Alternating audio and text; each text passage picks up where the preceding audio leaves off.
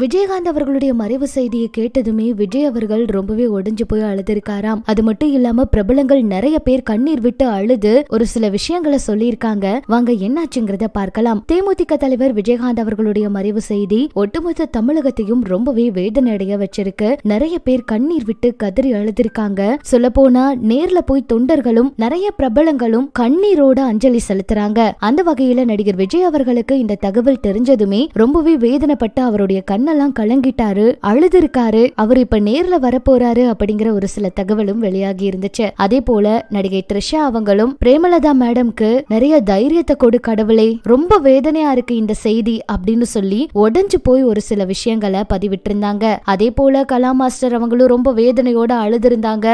News கேட்டோன்னு பயங்கர கவலையாயிடுச்சு. ரொம்ப ரொம்ப கவலையாயிடுச்சு விஜயகாந்த் சார் எங்களை விட்டுட்டு போயிட்டு.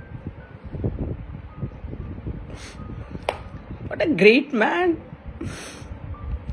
ரொம்ப ரொம்ப ரொம்ப ரொம்ப கிரேட் மேன் நிறைய படம் நான் பண்ணியிருக்கேன். மிஸ் யூ சார் என்னோட குழந்தைக்கு அவர் தான் வந்து பேர் வச்சார். நல்ல ம- மனிதர் சொல்றது எல்லாரையும் நல்ல பாதுகாப்பா இருப்பாரு. எல்லாரும் நல்லா இருக்கணும். எல்லாரும் வாய் எல்லாரும் நல்லா சாப்பிடணும். சந்தோஷமா இருக்கணும். யாருமே திட்டக்கூடாது. அப்படி இருக்கிற ஒருத்தர் கடவுளே எப்படி ஒரு பனிஷ்மெண்ட் கொடுத்தாருன்னு தெரியும்.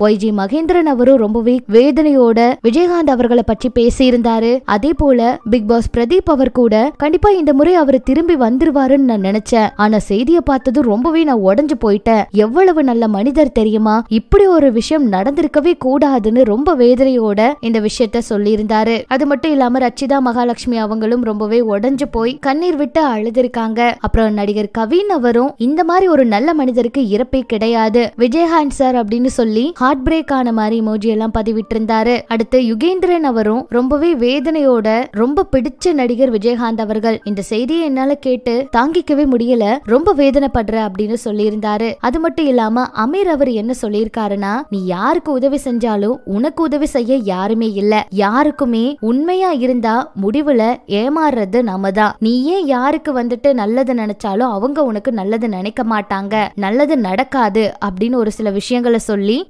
RIP sir. நன்றி இல்லாத மனிதர்களிடத்தில் நன்றியை எதிர்பார்க்காதே அப்படிங்கிற மாதிரி சொல்லியிருந்தாரு. அமீர் அவருடைய திடீர்னு இந்த பதிவு எல்லாருக்குமே ரொம்பவே அதிர்ச்சியை கொடுத்திருந்துச்சு. பிரபலங்கள் நிறைய பேர் வந்து நேர்ல போய் இப்ப அஞ்சலி செலுத்திட்டு இருக்காங்க. நம்ம சார்பாகவும் அவங்க குடும்பத்துக்கு ஆறுதலை தெரிவிச்சுக்கலாம்.